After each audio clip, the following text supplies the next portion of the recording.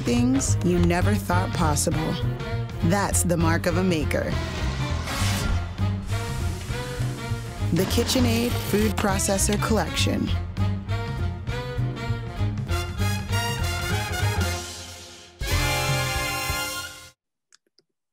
Hello and welcome to the British Library Food Season 2020, generously supported by KitchenAid.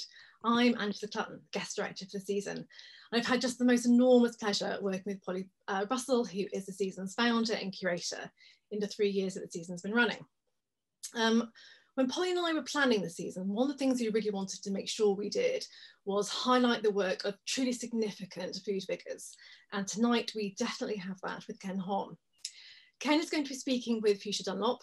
Fuchsia will introduce Ken, but just to say a few words about Fuchsia, she is in her own right, in her own right, a complete specialist on Chinese cuisine, has written six books, and this year won the Fortnum Mason Cookbook of the Year award. Please, please, please do ask your questions of Ken and Fuchsia. You can scroll down and see where to put those questions in. Couple of other admin things before we get going. You'll also be able to see where you can give feedback on the event. You can donate to the work of the library and find the social media tags to join in the conversation online. But for now, I think all I have to do is hand over to Fuchsia. Thank you, Angela. And, and hello, Ken. Lovely hello. speaking to us from Paris. Um, yeah, I don't think anyone really has had as great an impact on British perceptions of Chinese food as Ken Hom. He burst onto our television screens in 1984 with um, Ken Hom's Chinese Cookery, which was the first British TV series devoted to Chinese food. And incredibly, the book that accompanied this TV series, I think, has now sold one and a half million copies.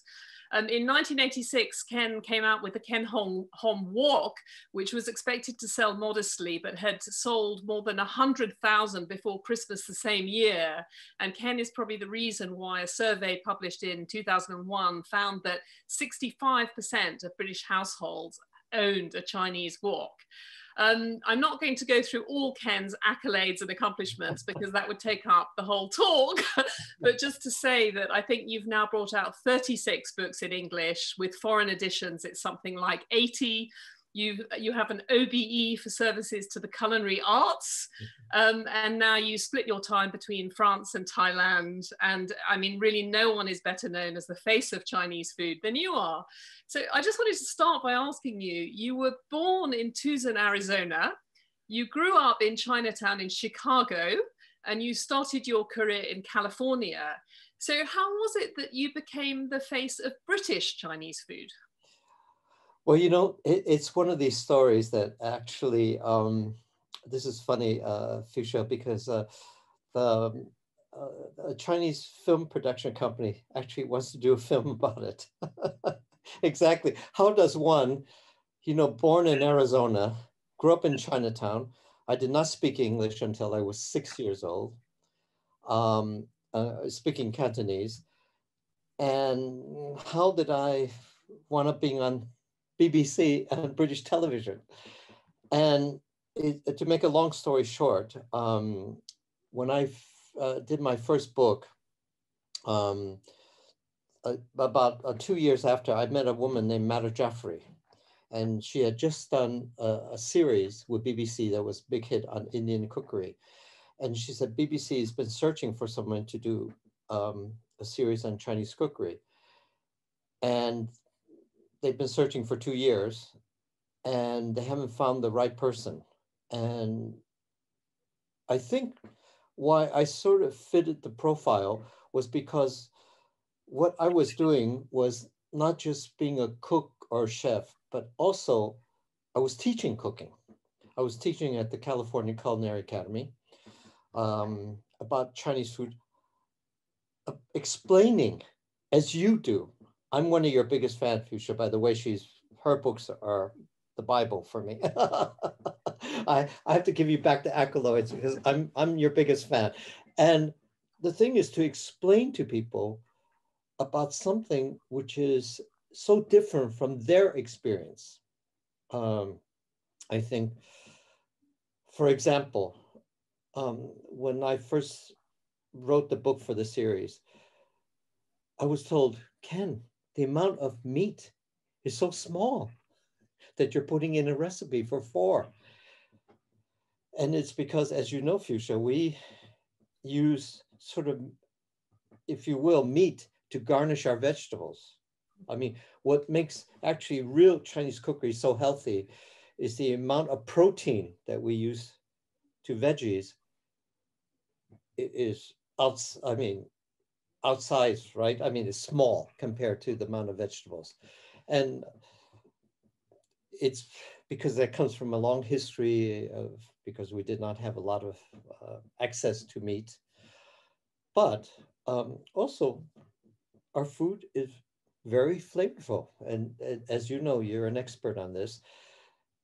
And also how the history of Chinese food, because of its landmass and its history, how it's so diverse. It's almost as, um, I mean, if you think about France, France has maybe about eight regional cooking. But if you think about China, which is much grander and bigger with a longer history, and each region, I mean, I remember when I first read your book on Sichuan cooking, I mean, it was, it was so fantastic because even though I knew something about it, I learned so much about it because it's an entity in itself. And that sort of um, history, I think, about Chinese cookery is what is so fascinating about, just like China right? As you know, I mean. When, but casting back to the beginning of your career, so I mean that was like three or four decades ago, yeah. and that's a time when you know for most British people, Chinese food, the only Chinese food they would have encountered would have been the local takeaway, um, serving. Where they would also serve fish and chips. yeah, yeah, but where, where you'd have a very simplified and sort of adapted yeah. form of right. Chinese food. And I was very amused actually reading your autobiography, Ken Hom, My Stir Fried Life, that um, there's a photograph in that of you with your TV crew in Britain, in yeah. London in the 1980s.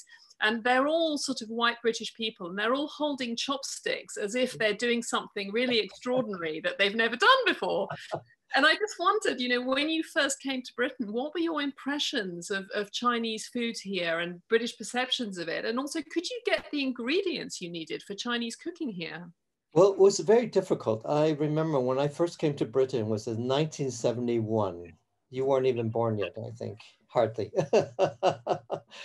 and uh, uh, I remember um, I was staying with friends that I had met in California in, at university and as a thank you for them putting me up, sleeping on their, their sofa, I want to do a Chinese meal for them. And just finding the ingredients was very, very difficult. I mean, um, I went to Chinatown, uh, things were not in abundance. And you must remember, uh, Fuchsia, in 71, China was not really open yet. And so a lot of some ingredients either came from Hong Kong, and even then was a very small thing and and to tell you the truth, even um, I had come from California. I was shocked at the um, uh, sort of supermarkets in the UK because um, the amounts of variety were very, very small. And I remember uh, seeing carrots like Tesco, they were shriveled. uh, you know, everything in California was, it was the beginning of the organic movement and we, we had such abundance of food. And uh, so it was a rather shock. And then I saw Chinese food, like in Chinese restaurant, uh, chips and curry. I said, what's that from? but I realized that the Chinese are very smart because, you know, in order to survive, you have to give, you have to be open to everything, right? I mean, Fuchsia, I bet when you first uh, uh, saw, I mean, curry and chips, I mean, as you know, that's not Chinese. They hardly even have potatoes in China. we found out recently, reading a book by Barclay Price about Chinese food in Britain, I think, was that a lot of um, Chinese takeaways actually started out as fish and chip shops, and they yes, I know Chinese families. They were very. Um, yeah. even fish and chips, I I mean, that's something I discovered when I came to Britain. So I actually I fell in love with it. I, I thought it was wonderful.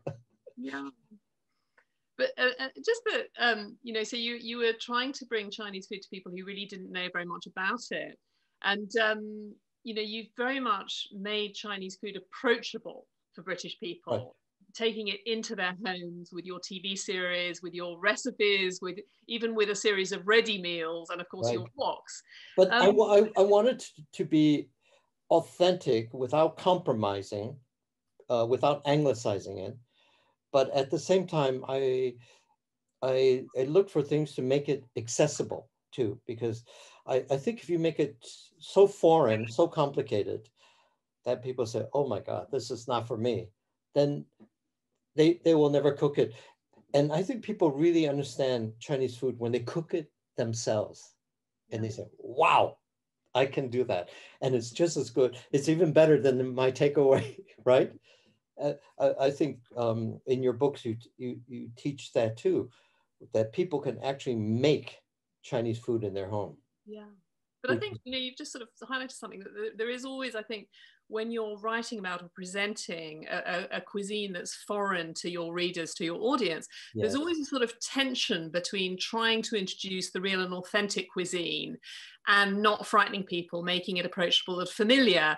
And you tell a very funny story in your autobiography about how you were teaching a, a cooking course in California and you were asked to do a serious cooking, Chinese cooking course. And you started by slaughtering a live chicken in front of a bunch of Americans. And then afterwards, the person who uh, hired you to run the class said, Well, Ken, we didn't mean that serious. I just, I, I wondered how you sort of well, your career, you'd struck this balance between trying to promote real Chinese food, but at the same time, you know, steady on there. Yeah. Can you imagine me bringing a chicken on, in BBC studio live? well, you know, it, when I first taught um, uh, cooking to chefs, I thought, well, they need to know where a chicken comes from. I mean, uh, this is how I learned how to cook.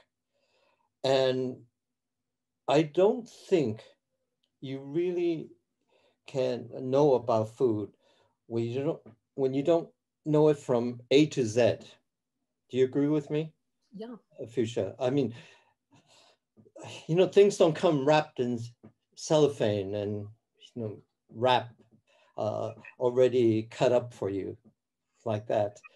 I think you have to know. And also too, I think when you know where it comes from, you respect the food even more, right? And, and you don't waste anything. That's another thing. And, and that's something I wanted to show because you take the chicken from its initial concept.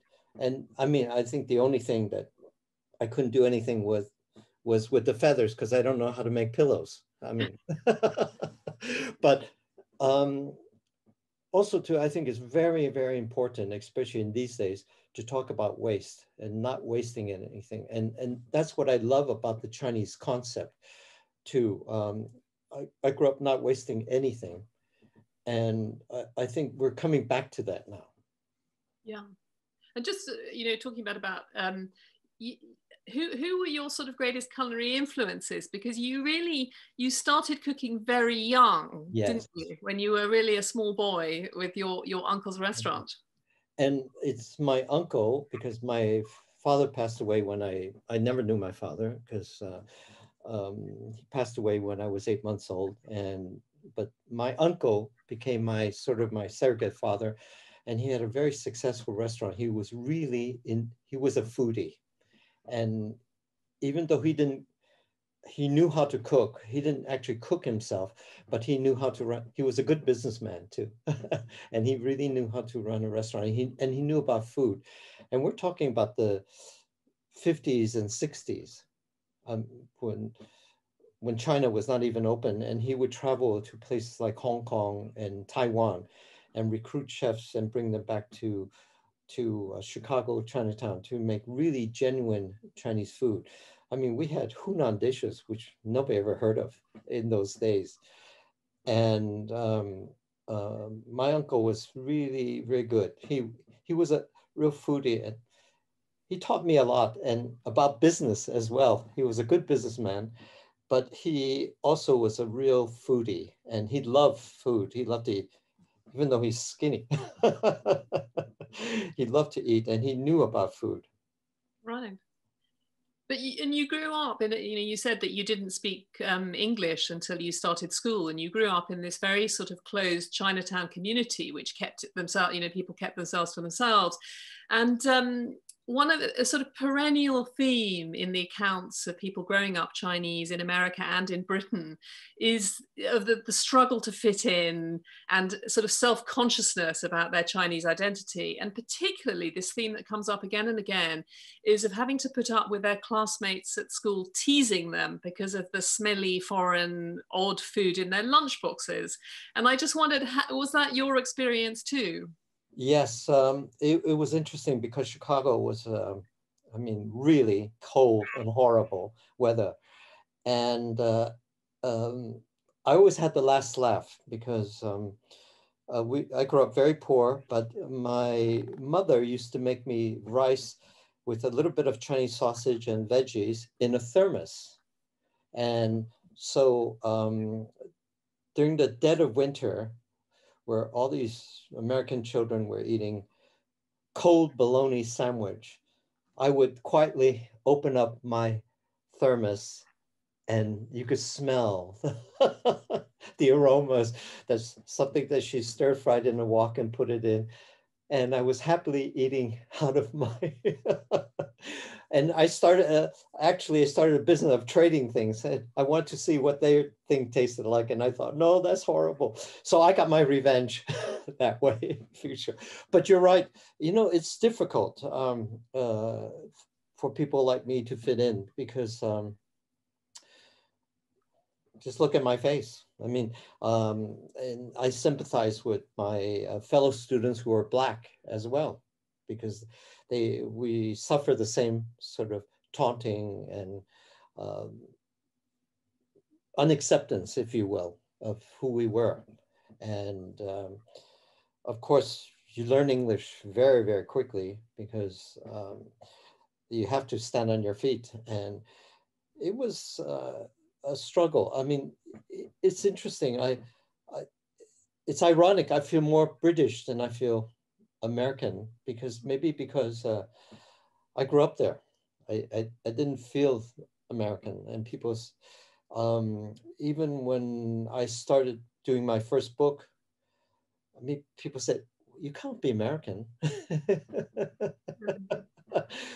and uh, I, I, think that's something I, um, it's interesting. I've never, uh, I mean, even before I was known in Britain, um, I'd never experienced that in Britain.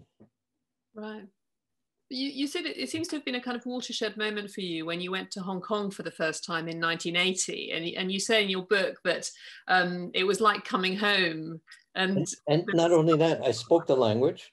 Everybody yeah. looked like me. And it was really interesting, Fuchsia, because um, I would speak a Cantonese that was rather archaic because we were cut off for such a long time. And people would ask me, when did you leave Hong Kong? I said, I, you know, I wasn't born in Hong Kong because my Cantonese was very rustic. Imagine, uh, I, I guess it's, it's like British that went over uh, 30, 50 years ago. And then when they come back to Britain, there are, are things you don't say anymore. Uh, words uh, become different and uh, uh, language changes. And so it was interesting. I, I loved being in Hong Kong. And what, what was the food like? I mean, was it like the food you'd grown up with in America or was it completely new to you? It was uh, actually, I, I, first came to Hong Kong in 1980 and Hong Kong was really on the cusp of, you know, really exploding um, economic wise. Um, French chefs were coming to Hong Kong to see things. Um, Chinese chefs were uh, open, exploring things. And I was sort of bowled over by the quality of cooking because, you know, really in Hong Kong, there's nothing to do except shop and eat. So, so eating better be good. there's only so much things you can buy, but you can eat all the time.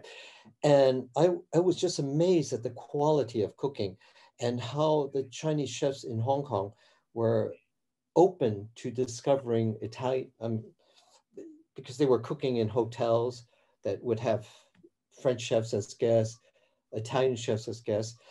And um, also Hong Kong uh, chefs were becoming quite cosmopolitan, which Chinese chefs are becoming now too, because they're, they're open in their travel.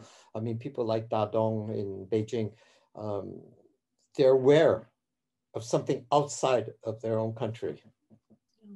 Um, I just want to take at this point a reminder to everyone listening to this that we'll be taking questions at the end. So please, if you would like to send in a question, scroll to the bottom of the page and send it, and then we'll, we'll come to the questions later.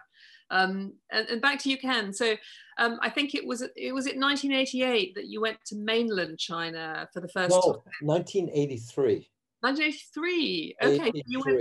It, it, was, it, it, was interesting because um, um, a group had hired me in Hong Kong um, from America, and I uh, to to do a cookery class, and then I went with them to China. It was really quite amazing because the restaurant I went to, Fuchsia, was like something out of the Middle Ages in uh, Europe. Uh, this local restaurant I went to had bones on the floor. I don't know if you're you're you're you're too young to see all that, but they had bones on the floor where people would eat and they'd throw the bones on the floor. So when you walk, it'd be crunching. I've done a bit of bone throwing myself, Ken, in my time. but um, um, I I was shocked at um, uh, sort of lack of quality of cooking in China, and and actually when I first went to China in 83. Uh, then I went back in uh, much longer time in 88 and 89. And um, I thought, I mean, this is amazing. I went to a place in Beijing that was famous for Peking duck. And I said, I wasn't even born in China and I make a better Peking duck than they do. How is that possible? And I think because people didn't care about their cooking. It, it, made me sad. They were, uh, it was run like a state restaurant. So they didn't really care if the clients were happy or not. Uh, the quality of cooking was was not there. And also the service was, I mean, abysmal. I mean, I mean, I think that's fairly typical of most state-run economies and people who visited China in that period, and also Absolutely. the Soviet Union will testify to that. Yeah, it's funny because actually, although I was in Sichuan later than that, so in the the first time in the sort of mid nine early mid nineties, but although the service wasn't great and certainly restaurants weren't as smart as they are now, the food was was fantastic. But, yeah. but I think I suppose when you were first there, China was coming out of this long period really of poverty yeah. and isolation, and um, and sort of finding its feet. I, I, was able to find good restaurants, but you had to really look for them. Uh, for people who cared and mostly they were family owned restaurants as you would say rather than sort of these state affairs and um, it shows that that doesn't work. when you went back in 1988 and you were researching this book, um, The Taste of China, and this time you were really trying to look at Chinese food in its regional and cultural context. Yes. And I just wondered, you know, traveling around the country, what that was like for someone who'd been brought up on mainly Cantonese food. Uh, it, it, was a revelation because I, I, I, I learned so much. And actually, I was um, quite humbled, even though I had written about, did a lot of research about Chinese food to actually, I mean, see certain things, like in Yunnan, where they made um, almost 30 courses out of one goat. I thought, wow, that's that's amazing. Uh, you know, I defied, you know, all these great chefs to do something like that, and it was very, very good. And um, it was nice to know that some things still existed. And so when when China started opening up and exploding, you could see, I mean, now the food in China, as, as you know, Fuchsia, is pretty, uh, I mean, really fantastic. Yeah. but I think it's also just sort of remarkable how Chinese food um, in America and in Britain has changed because yes. when you were growing up, and also when I was growing up, I mean, the only food that was widely available was based on on Cantonese cooking, yes, because the vast majority of, of immigrants oh, from China had been from Hong Kong and the Cantonese South. But of course, China is a vast country with this exactly. extraordinarily diverse regional cuisines. And, um, you know, in the last sort of 10 years or so, we've seen this, this incredible blossoming of restaurants of Sichuanese, Hunanese, Dongbei, and, and it's totally changed the Chinese food landscape. And I, I just wondered, Ken, do you think that, um, that people in Britain, people abroad generally, are finally getting a sense of, of the vastness and diversity of Chinese cuisine? Oh, absolutely. I mean, I think if you see Chinese food, I mean, we're fast forwarding to now I, it's another world. Um, I mean, thanks to people like you, um, not only your books and and also the exposure and opening to China has has woken up uh, everybody's consciousness about what real Chinese food is about and how vast it is, just like China is. Yeah. But one of the, I think one of the weird things about Western perceptions of Chinese food um, has been the idea that while it's really delicious, it should be cheap. Yes, and it's exactly. a crazy reduction of one of the world's greatest cuisines, um, greatest culinary cultures to a sort of cheap, predictable takeaway menu. Exactly. And you, know, you yourself, you've personally done a great deal to raise the status of Chinese food. You've cooked for presidents, prime ministers, and film stars, and you've worked with many outstanding chefs from all kinds of different culinary traditions. But I think it's still quite a sticky stereotype. But one great change since you started your career, and, and even more recently, recently is that um, you know China is no longer isolated from the outside world, and in recent years there's been this rapid development, growing wealth. Um, you know, more Chinese people from different regions living abroad, and also sort of growing muscle on the international stage. And I wondered how much you think it's, you know, the rise of China and the opening up of China has has, has affected Western sort of perceptions of Chinese food and, and its status and its value. Well, it's like everything. Um, um, when you know China um, uh, sort of woke up, I think people also woke up to not only uh, the Chinese economy, the Chinese people, but to its cuisine, and that it's not stereotypical, as you say, just actually it was Cantonese food, but even bad Cantonese food. I mean, uh, I was able to see that when I first went to Hong Kong. I said, I mean, some of the food that was in America was just, I mean, nothing like what was uh, what was in Hong Kong, and and subsequently when I traveled throughout China, it opened a new world to me, and I think because of all this traveling between the West and China there are many um, Westerners who travel on business.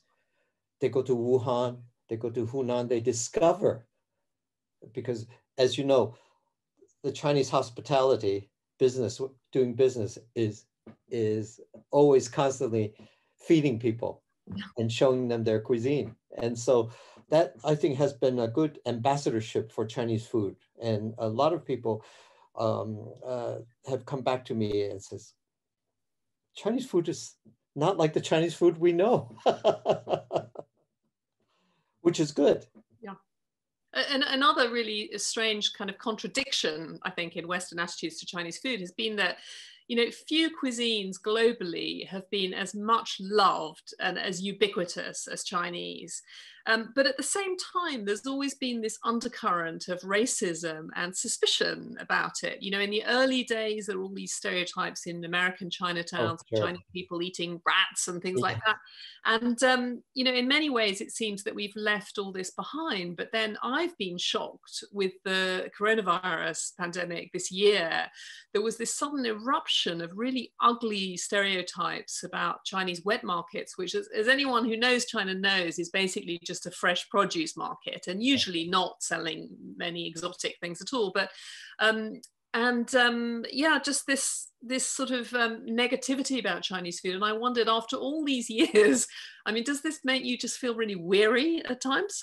Well, I, I think it's uh, a battle that we've always fought. I mean, I, I, I think people also need to understand that, um, uh, you know, China's an ancient culture. There's a lot of things they believed in, uh, that things are good for you because you eat that, even though it's not true. It's uh, uh, just full of misinformation, um, just like uh, in the West.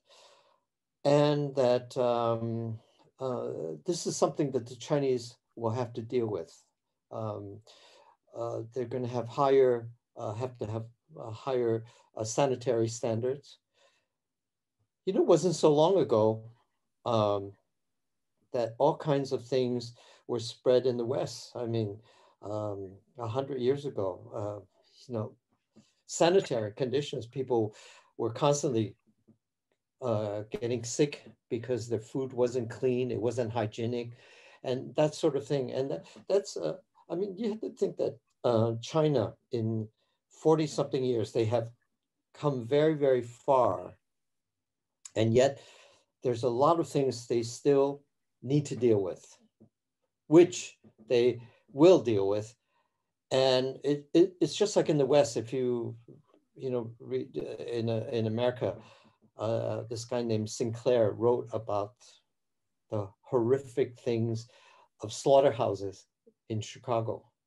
I mean, it was a book that catapulted uh, sanitary conditions. And this is uh, how things change.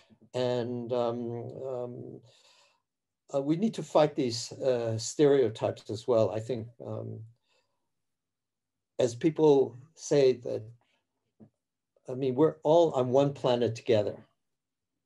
And we need to help each other. We need to uh, share things together. And we need to learn from each other. And let's make this a better world. but I suppose what I'm getting at is that I think um, you know there are legitimate concerns about practices in some Chinese markets, course, and I, I, think the Chinese will be taking that on board. You know, absolutely. Yeah, and I and I and also, you know, there is a problem with a minority of people with lots of money wanting to eat exotic things. But it is a minority thing, and I, I do feel that you know sometimes you know we're all guilty of econ- of, of um, crimes against the environment and also yeah. cruelty in western slaughterhouses as you've just said and i just i feel that the, the, the racial stereotyping actually um, goes against working together to solve these problems because exactly exactly I mean, it, it doesn't help to blame um, a certain people for something that happens. I think when something happens, they said, okay, let's work together. Let's find out what the problem is and let's work on it. Yeah. And, and you're absolutely right. And it's, um, uh, it's a silly thing that we humans are guilty of. I think we're all guilty of things like that. And Chinese food is delicious, as we know. But one thing, you know, you've been looking, I mean, particularly Hong Kong is a place that's very close to you, that um, the food scene has changed dramatically in the last sort of 40 years or something. Um, would you like to say a bit about that, about how it's changed, do you think, and people's relationship with food? Well, you know, um, people brag about food and about where they eat in Hong Kong. They love to share. You know, uh, I ate at you know Bo Innovation, that sort of thing, and Michelin star restaurants. Um, it's sort of bragging rights, but at the same time, um, I think people in uh, Hong Kong have become much more sophisticated. For instance, it's interesting, Fuchsia, the wet markets in Hong Kong um, has really changed. I remember when I first did cookery classes there in 1980, I, um, the wet markets were like in China. And um, since SARS in the early 2000s, all of that has, uh, they've cleaned that all up in, in China, I mean, in Hong Kong. And I think that uh, people are learning lessons. I mean, I mean, we, we have to evolve as when things happen. Okay, this is not to be done. We'll have to change this. I think people in uh, Hong Kong are very aware of this type of problem, and this is why they crack down on it really quite quickly. I mean, wearing face masks, uh, social distancing, and also it helps that in Asia, there's none of this kissing and hugging and even shaking of hands.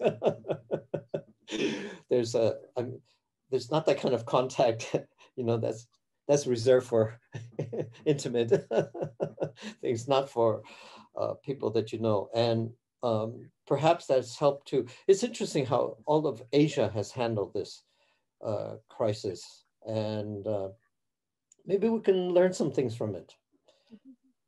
Apart from Hong Kong and um, you know, you, you were just saying earlier that you had some quite negative impressions of Chinese food when you were first there in the 80s, but you you went back to do this another big BBC series with Ching-He Huang exploring yes. China in I think 2012. Yes. And I, I wondered what your impressions were of China traveling around different regions then, you know. Well, you know, it's interesting, uh, Fuchsia, I was bowled over. Um, and what I meant by bowled over about how the quality of Chinese food had, um, just like China, how, how China has changed, so has its food. Um, upward, in other words, quality. Uh, you had people cooking Chinese food of really, for the first time, I saw, you know, Michelin quality Chinese food. Um, in Sichuan as well as in Beijing, how people really cared about what they were doing. But these were all, again, private businesses. So, you know, for that, making money is good. Capitalism is good for food. I think it's helped really Chinese food to um, come up to world class levels in China. And I, I was astonished at also the variety of foods that were uh, available in markets that I didn't see in the late 80s. Mm-hmm. And um, the effect of even like 30 years was just, I mean, simply amazing. And we had a, fun, a lot of fun. We drank a lot of baijiu. yeah. Yeah. And it, it was interesting how also to see the Chinese drinking wine Western wines. And I, I thought, oh, see, that's good. They're learning things from us as we are learning things from them. And uh, when you see China just opening up like that to the world, it's it's improved their food, even though uh, because they're learning about quality. That quality really counts and makes money it's a powerful incentive. One thing that you, you said earlier about, you know, so the, the proportion of vegetables eaten in Chinese cuisine, because that's another really, I think the most bizarre of all the, the Western stereotypes about of Chinese food is that it's unhealthy. And there's a, this idea that's, that's grown up that Chinese food is a bit junky, that it's full of MSG, that it's all deep fried. And as you know, nothing could be further from you know the, the, the, traditional Chinese diet, which with so many vegetables. And I wondered, um, you know, this is something I really hope will shift, and I hope that people will recognise that China is really a source of in, inspiration Absolutely. and information about how to eat healthily and well. But well, do you, you know, think it's interesting, uh, Fuchsia, that you said that because, uh, for instance, um, uh, breast cancer for women was almost unheard of in China before. Why? Because they were not eating a lot of red meat. And it, it has started to come into China and has risen. And obesity, which I mean, he, never saw anybody obese or having all these health problems that we have in the West. And it's because this rising um, wealth in China, as you know, like Chinese are eating so much more red meat now, which is not their traditional way of eating. And it's, it's really unhealthy. And I think there's a movement now to go back, as you said, to, to its original source of eating less meat, especially red meat, and eating more vegetables, going back to traditional style, which is, I mean, this is how I grew up. I mean, I, I couldn't believe the size of the steak in America. I said, this is for a village, a Chinese village. I mean, it was huge. And um, uh, and I thank God I grew up that way because I I was never a big meat eater, and and I find that all my friends in my age group are doing the same thing. They're eating less and less meat, simply because it's healthier, and it's the traditional Chinese method. Is, it, is that something that you've consciously tried to promote through your work? Then? Oh, absolutely. Trying to, without sort of proselytizing, as you know, it's sort of preaching. Um, I think you try to show that, for instance, as you know, uh, Fuchsia, a steamed fish could be so wonderful. and it's so healthy and it's so lovely. You know, people, you don't need to fry it. Frying is good. I mean, I love my fish and chip, but steaming is also fantastic. one of one of the funny things about about Chinese culture, I think, is that while people take food extremely seriously to the point of obsession, that actual cooking is traditionally a very low status profession, and it's something that you know few Chinese parents want their children to be chefs. Your your own mother brought you up in really quite tough conditions on her own after after the early death of your father, and you were her only child. And you say in your book that um, you, you know your mother really couldn't understand why you wanted to cook, and she used to ask you um, why you didn't become a dentist instead. and I just wondered that, you know, at what point in your glittering international career did she maybe accept that you'd made the right choice? No, you know what happened? Um, um, I think it was in 2000. Um, my mother used to say, you know, Ken, you really have to get a real job. In other words, you know, stop this cooking stuff on television and things like that. So she said, um, and that changed in 2000 because um, I had cooked for the Chinese uh, president's first visit to the UK, to, to uh, England. And uh, there was a, photo call. Uh, I cooked at number 10. Um, after the, of course, the, the, the first meal is also always given by protocol by the Queen. And I cooked at number 10. And the next day there was a photo call and it hit the front pages of all the Chinese papers. So when I went to see my mom next a, a month later, she said, maybe you should continue cooking. Not a bad thing. because she she had faced for the first time, uh, you know, that I had this status and you know, it's Chinese mother, it's like a Jewish mother. you know, you're doing good, son. Okay, continue now. but I had to take that. I mean, this is after I've been cooking for God knows how long, teaching for 20 years. it took that to convince my mom.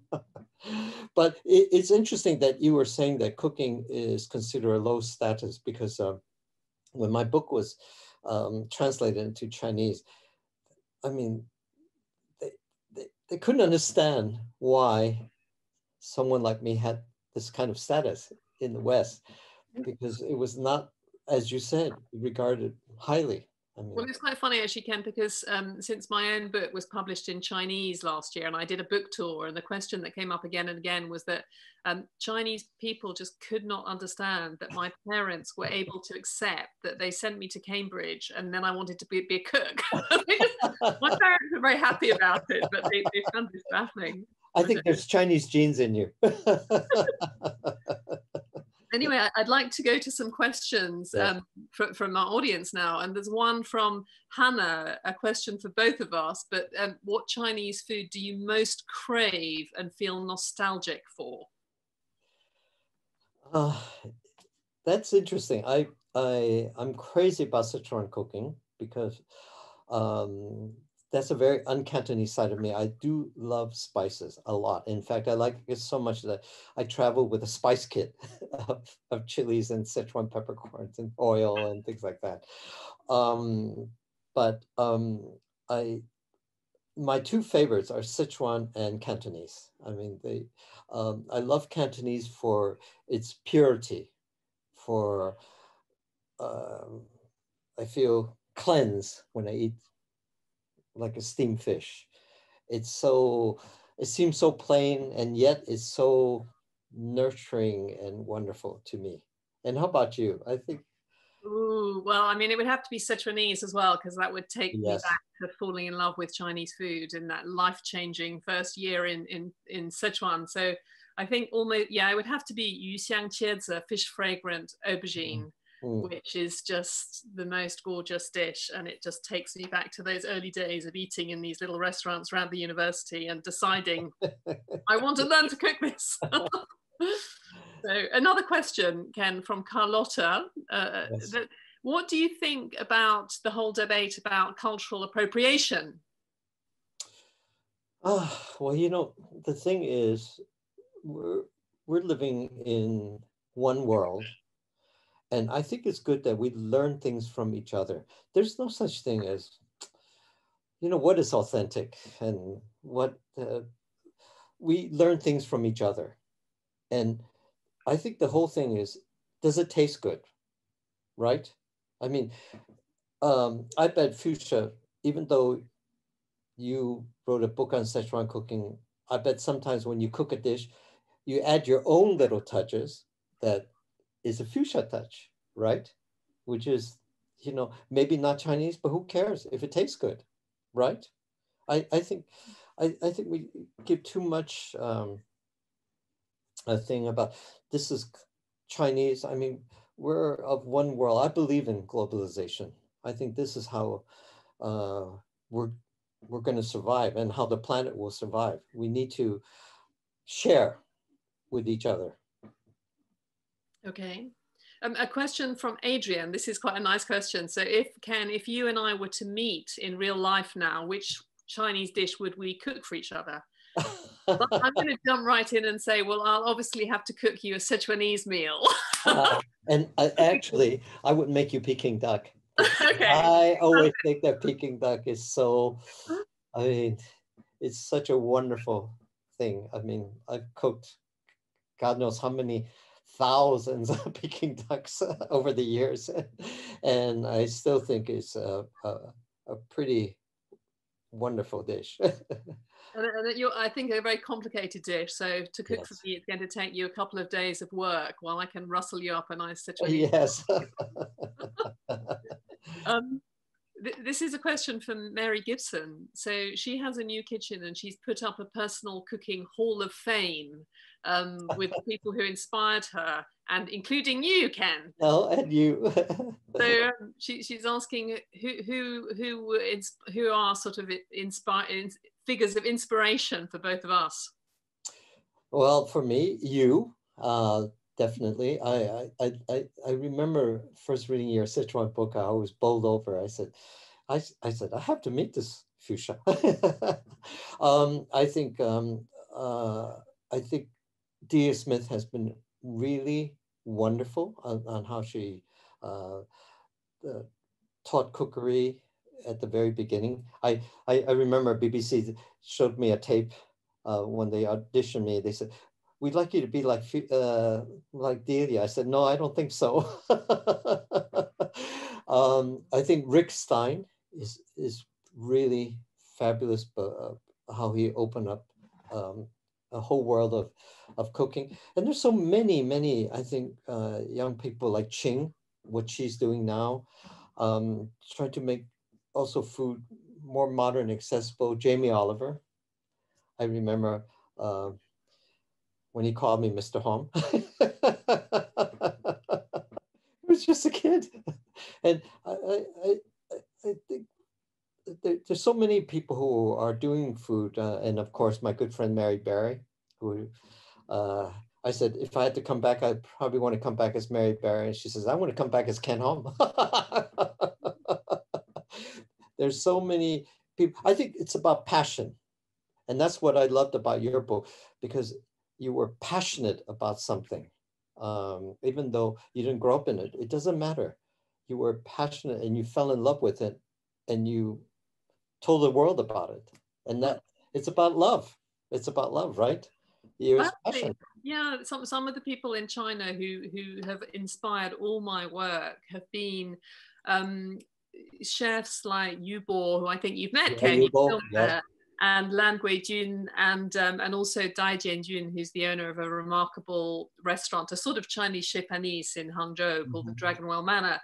And these are people who are passionate about their culinary heritage and who, you know, you were saying earlier that for historical reasons, you know, China had all these very difficult decades and has is sort of recovering, has recovered its food culture. And these people who are so committed to their heritage and mm. who are absolutely insistent on finding quality ingredients and on you know restoring the dignity of this great culinary culture and also there are sort of historical figures like i mean I think Ken, you know, you were talking about quality of ingredients and these these values, which are very so important in, in for example, modern mm. Californian cuisine. Yes, yes. But which actually, you know, were important in China two thousand years ago and have been so much part of a culture that values food, but then have sort of got lost in the in the 20th century with the revolutions and so yeah. on and political turmoil i mean yeah and so it's just that i just find it so inspiring that there are people who in often in quite difficult you know not not very encouraging circumstances you know dealing with pollution and with rapid social change and the development of the countryside but who are really trying to hold on to this amazing culinary culture yeah um um, yeah, Ken, are there any favorite Chinese ingredients that you still can't get outside China? No, I think uh, you can, I think you would agree with me, Fuchsia, you can get anything these days uh, because I think the opening of China now, um, in fact, uh, more and more uh, ingredients are widely available. I have a house, uh, I, I go to a country house in southwest France. It's in the middle of nowhere. And they opened up an Asian market stock full of Chinese things. I couldn't believe it. I said, this is, I mean, remarkable. Um, uh, before you used to have to go to a big town to get Asian, I mean, especially Chinese ingredients. And they're available everywhere now. And um, uh, well, that's what globalization is about, availability. You agree? I have to say that in some senses, yes. So, for example, like in my neighborhood now, within about um, within about 100 paces of my front door, there's a little Chinese shop run by a Fujianese guy, which has all the all the basic seasonings for Chinese mm-hmm. cooking.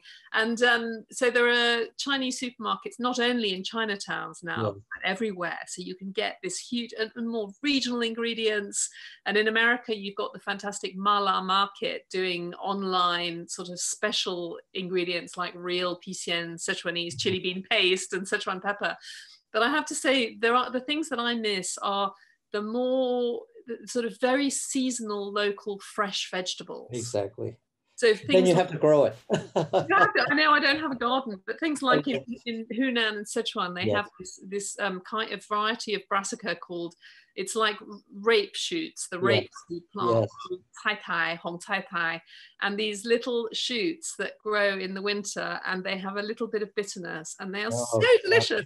and it's partly I crave them because I can't get them at home. And so oh, you know what you do? You know what you do, Fuchsia? You bring seeds back and you have a friend or a, somebody grow for you. this will be my plan.